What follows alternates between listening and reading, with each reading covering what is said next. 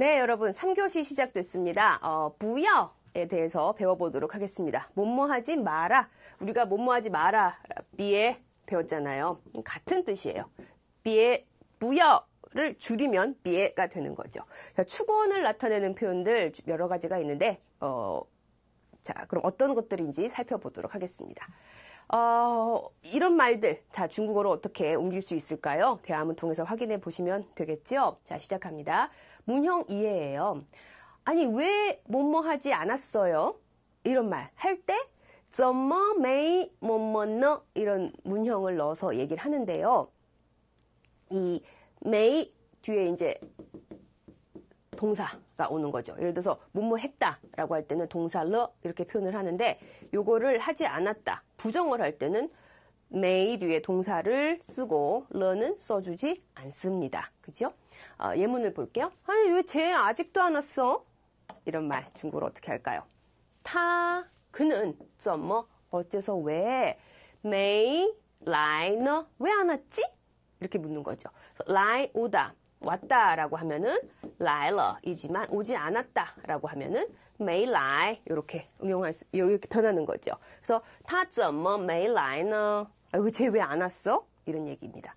他怎么没来呢? 근데 우리가 부정을 나타낼 때 메이를 쓰기도 하지만 뿌를 쓸 수도 있잖아요. 어떤 차이가 있느냐?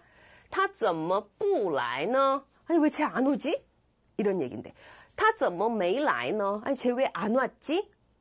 안 오지? 他怎么不来呢?왜 오지 않지? 그냥 어, 메이 뒤에 동사가 오게 되면 그냥 과거에 대한 부정이 되겠고요. 뿌는 어, 약간 의지가 들어가는 그런 게 굳이 해석을 하자면 어, 쟤왜 안 오지? 아 좀 오지 왜 안 오는 거야? 이렇게요. 근데 왜 아직까지 오지 않았을까? 이런, 이런 의미죠.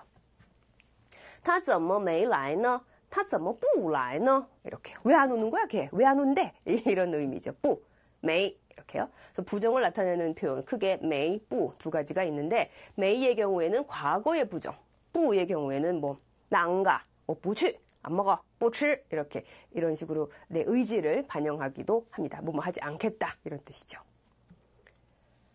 대화 한번 볼까요? 오늘 걔 왜 안 왔어? 이렇게 물었어요. 그랬더니 어, 병원에 입원했대 글쎄 이렇게 얘기를 하는데요. 중국어로 어떻게 하는지 볼까요? 오늘 왜 이렇게 안 왔어? 어, 출근을 해야 되는데 출근을 안 한 거예요. 왜 안 왔지? 그래서 묻는 거죠. 今天他怎么没来呢?왜 오늘 안 왔어? 他怎么왜 안 오지? 今天他怎么没来呢? 라고 하니까 아유 병원에 입원했답니다. 라고 얘기하고 있어요. 자 병원에 입원하다는요. 住院이라고 합니다. 住는 살다 이고요. 유엔은 이유엔의 줄임말인데요. 병원이란 뜻이에요. 자, 이유엔, 이, 이 병원인데, 이거를 한자를 그대로 읽으면 의원입니다. 의원. 우린 한의원이죠. 그래서 중국 분들이 한국에 오시면 이 한의원의 이유엔을 보시고 중국에는 왜 이렇게 병원이 많냐고 물어보는데 사실은 우리가 말하는 의원은 이제 한의원이고 중국어에서 의원은 병원이 되는 거죠. 종합병원을 이유엔이라고 얘기하죠. 그래서 주유엔이라고 하면은 병원에 입원하다. 주이유엔의 줄임말을 어, 이렇게 표현을 하는 거죠. 주유엔 입원하다. 주유엔러 입원했다. 누가요? 타 주유엔러 그가 입원했어요가 되는데 그거를 내가 들었어요입니다. 그래서 听说 어, 듣자 하니까 다 住院了 병원에 입원했답니다. 이런 얘기죠. 아이고 과로로 쓰러졌대요. 아 우리 문병 가봐야 되는 거 아니니? 이제 이렇게 이제 동료들끼리 얘기를 하는데요. 자 그는 비러 피로하다. 过过度 과도하다. 혼다오라고 하면은 이렇게 넋이다, 기절하다 이런 뜻인데요. 혼다얼러라고 했어요. 그러니까 기절했다가 되겠죠. 그 타, 자, 그는 혼다얼러, 그는 기절했습니다. 쓰러졌어요. 인데 왜 쓰러졌냐? 여기 이유가 나와요. 비라오고도 우리는 과도하게 피로해서 뭐 이렇게 표현을 하나요? 근데 중국어에서는 비라오고도 피로가 너무 심해서 정도가 너무 지나쳐서 쓰러졌대요. 즉 과로로 쓰러졌답니다. 라는 얘기가 되는 거죠. 他疲劳过度昏倒了. 자, 昏倒 쓰러지다. 昏倒了 쓰러졌다. 他疲劳过度昏倒了. 너무 과로가 심해서 쓰러졌대요. 그랬더니 해야 하느냐 하, 하, 이에요 아니에요 할까요 말까요 是不是를 썼고요. 탄빙은 문병하다입니다. 취를 썼어요. 그러니까 문병가다가 되겠죠. 야 해야 한다.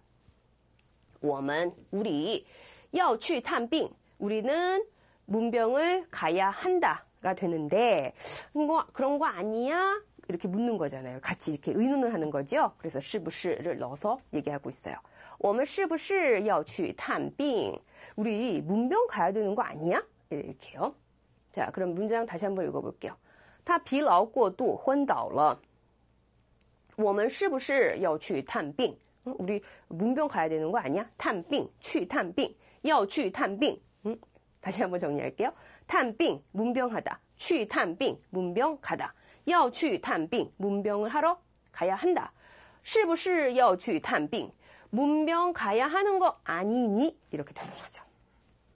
자, 그 다음에요. 요거 따오는 쓰러지다 이럴 때는 따오, 삼성으로 발음을 합니다. 근데 뭐 예를 들어서 차를 따르다, 뭐 술을 따르다, 그 다음에 차를 후진하다 이럴 때는 따오, 같은 글자지만 따오, 사성으로 발음을 합니다.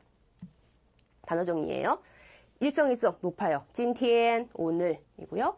怎么 왜 어째서 来 오다 听说 듣자 하니 뭐뭐 일하더라 住院 입원하다 疲劳 피로하다 过度 도를 넘다 그래서 疲劳过度라고 하면 과도하게 피로하다가 되겠죠. 昏倒 쓰러지다 去 가다 探病 병문안하다. 문형이해입니다. 특별히 찾아오다. 特来라는 표현이 있는데요. 特来라는 말은 特地前来의 줄임말입니다. 特地는 특별히 前来 앞으로 오다 뭐 이렇게 해석을 할 수 있겠는데 사실은 특별히 찾아오다라는 뜻이죠. 特特地前来 特来입니다. 이것도 문어체적인 표현인데 이렇게 표현함으로써 아 제가 일부러 배알하려 왔습니다. 이런 뉘앙스가 되는 거죠. 칸왕이라고 하면 어, 보다입니다. 만나다. 特来 칸왕이라고 하면은 특별히 제가 당신을 만나려고 뵈려고 이렇게 왔다 이런 얘기고요. 特来 원안 원안은 안부를 묻답니다. 그래서 特来 원안이라고 하면은 제가 이렇게 문안 인사 드리려고 일부러 이렇게 찾아왔습니다라는 표현이 되는 거죠. 굉장히 짧지만 굉장히 공손하면서 예의가 담긴 어, 그런 또, 또, 또 그리고 좀 멋, 멋이 느껴지는 그런 표현입니다. 特来看望 제가 일부러 특별히 뵈러 왔습니다. 特来问安 제가 안부 인사를 올리려고 이렇게 찾아왔습니다. 이런 얘기죠. 대화 한번 볼게요. 아, 편찮으시다는 얘기 듣고 이렇게 제가 특별히 찾아왔습니다. 라고 얘기를 합니다. 아, 병이 났다고 들었어요. 자, 듣자 하니까 이렇다면서요. 자, 이렇게 얘기를 해요. 자, 삥, 병이죠. 삥러, 병이 났다. 이렇게 해도, 이, 러만 써줘도 삥 뒤에 러만 써줘도 상황이 변하죠. 안 아팠는데 건강했는데 갑자기 아파졌어요.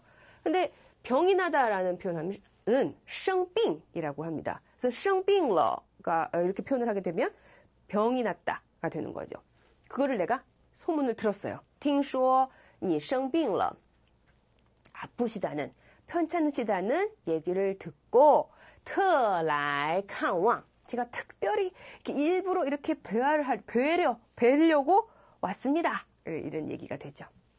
자, 여기 병이 나다, 생빙, 생빙, 생이라는 동사를 써서 얘기할 수도 있습니다.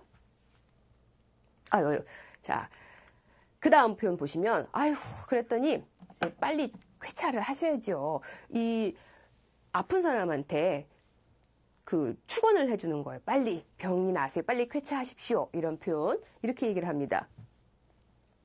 쪼는 추원하다라는 뜻이고요. 자얼 자어 일찍이죠. 을은 날이에요. 자얼 하루 빨리 캉 건강이 후 회복되기를 내가 기원합니다. 쪼자얼 캉후 하루 빨리 쾌차하세요. 쪼자얼 캉후 내가 추구하는 대상은 당신이죠. 그러니까 쪼니 早日 康复 이렇게 얘기할 수도 있고요. 또 너무 길어요. 그럼 요거 네 글자만 말씀하실 수 있어요. 早日 康复 이렇게요. 하루 빨리 쾌차하십시오. 早日 康复라고 하면서 이제 이렇게 축원을 하니까 아유 감사합니다. 앉으세요라고 말합니다. 자 감사해요. 당신께 감사해요. 감사한 대상 여기 나왔어요. 시에시니 어, 너무 감사합니다. 坐下 앉으세요. 근데 공손하게 얘기해야죠. 请坐下 앉으십시오. 请坐下 앉으세요. 앉으세요. 이렇게 얘기를 한 거죠. 坐는 앉다이고요. 시아는 우리가 이렇게 서 있다가 앉게 되면은 몸이 위에서 아래로 내려가잖아요. 그래서 시아라는 방향을 나타내는 표현을 넣어서 앉다라는 얘기를 하고 있습니다. 문장 읽을게요. 아, 祝早日康复.祝你早日康复.早日康复다 되죠? 谢谢你,请坐下. 앉으십시오. 이렇게요.